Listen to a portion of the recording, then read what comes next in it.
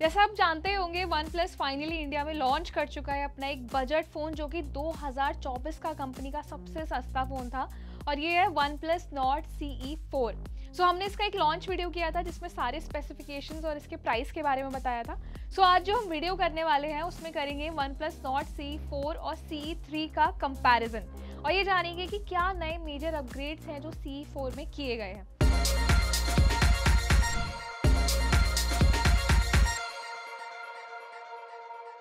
सो so, सबसे पहले ना दोनों फोन्स के प्राइस पॉइंट की बात करेंगे देखेंगे प्राइस में दोनों फोन्स में कितना डिफरेंस आया है। So one plus Nord C four जो है उसको मिड रेंज सेगमेंट में लॉन्च किया गया है जैसे कि नॉट सी थ्री को लॉन्च किया गया था। सो so, इस फ़ोन का जो बेस वेरियंट है जिसमें एट जी रैम और वन ट्वेंटी स्टोरेज मिलती है उसका स्टार्टिंग प्राइस है twenty four thousand nine hundred ninety nine और वही जो इसका हाई एंड वेरियंट है जिसमें two fifty six G storage दिया है उसका प्राइस है twenty six thousand nine hundred ninety nine और ये जो एस फोर फ़ोन है, इसे दो नए स्टाइल्स में लॉन्च किया गया है ग्लॉसी फिनिश और एक सिलेडन मार्बल कलर में।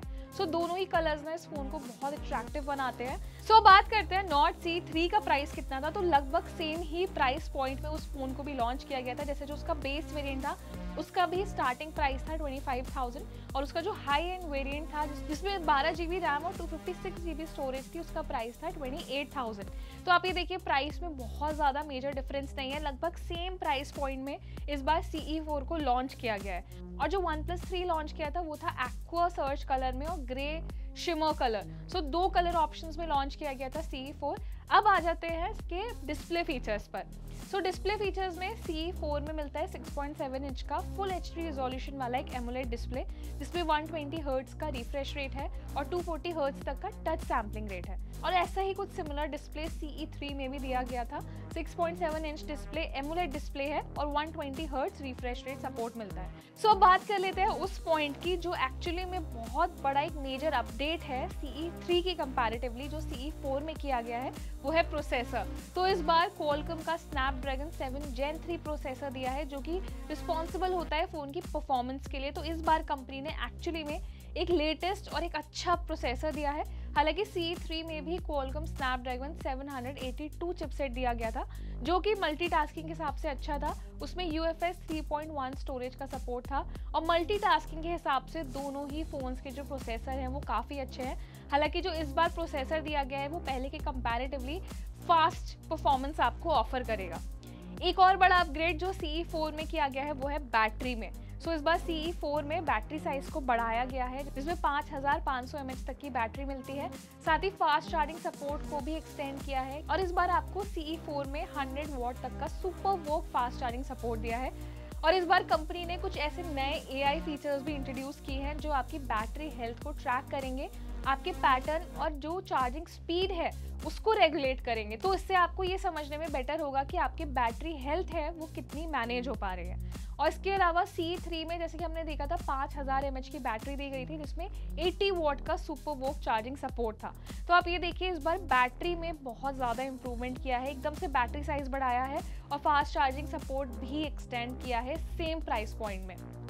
इसके साथ अब आते हैं कैमरा फीचर्स पर। तो कैमरा फीचर्स में कंपनी ने बहुत एक्सपेरिमेंट नहीं किया है, लेकिन अच्छी चीज़ ये है कि इस बार सोनी का कैमरा ऑफ़र किया है, जिसमें आपको 50 एम का एक प्राइमरी सेंसर मिलता है, जो ओ सपोर्ट के साथ आता है।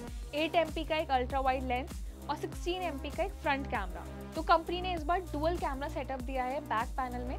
वही सी थ्री में हमने देखा था ट्रिपल कैमरा सेटअप दिया गया था, जिसमें 50 MP प्राइमरी सेंसर था जो OIS सपोर्ट के साथ आता है 8 MP का एक अल्ट्रा वाइड लेंस और 2 MP का एक macro sensor so so, company ने इस बार ट्रिपल की जगह एस फोर में डुअल कैमरा सेटअप दिया है। लेकिन अच्छी चीज़ ये है कि इस बार सोनी का लिट सेंसर दिया है जिससे बेटर पिक्चर क्वालिटी आपको मिलेगी बेटर एक कैमरा परफॉर्मेंस मिलेगा। सो so, ये जो मैंने सारे अपडेट्स आपको बताए हैं डिस्प्ले बता दिया processor battery camera so so, ये वो मेजर चेंजेस हैं जो इस बार के नॉट सी फोर में किए गए हैं। तो सबसे पहले हमने देखा कि प्राइस पॉइंट लगभग सेम ही है। डिज़ाइन में भी बहुत चेंजेस नहीं किया है। थोड़ा से बैक पैनल को चेंज कर दिया है कंपनी ने। जो कैमरा मॉड्यूल है उसे चेंज किया गया है। दो तीन ऐसे मेजर फीचर्स हैं जैसे कैमरा बैटरी और प्रोसेसर उसमें एक्चुअली में बहुत सारे मेजर अपग्रेड्स किए हैं। सो so, इस बार नॉट सी फोर में एक नया फीचर इंट्रोड्यूस किया गया है एक्वा टच फीचर जो कि आपको सिर्फ़ सी ई फोर में ही एक्सपीरियंस करने के लिए मिलता है। नॉट सी ई थ्री में आप इसका यूज़ नहीं कर सकते हैं। और इस फीचर को इंट्रोड्यूस किया था वन प्लस ने अपने flagship series one plus twelve में। सो so, ये भी एक बहुत अच्छा मेजर अपडेट है।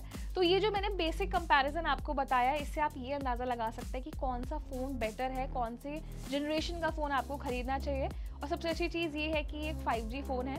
परफॉर्मेंस बैटरी कैमरा इंप्रूवमेंट के बाद भी सिमिलर प्राइस पॉइंट पे फ़ोन को लॉन्च किया है। तो आपको क्या लगता है कि नॉट सी थ्री या नॉट सी फोर में से आप कौन सा फ़ोन कंसिडर करेंगे? या फीचर वाइज परफॉर्मेंस वाइज कौन सा फ़ोन बेटर होगा? हमें कमेंट सेक्शन में ज़रूर बताएँ। ये वीडियो हेल्पफुल रहे तो उसे लाइक करें शेयर करें और इसी तरह के वीडियोज़ अगर आप और देखना चाहते हैं तो हमारे चैनल को सब्सक्राइब भी करें।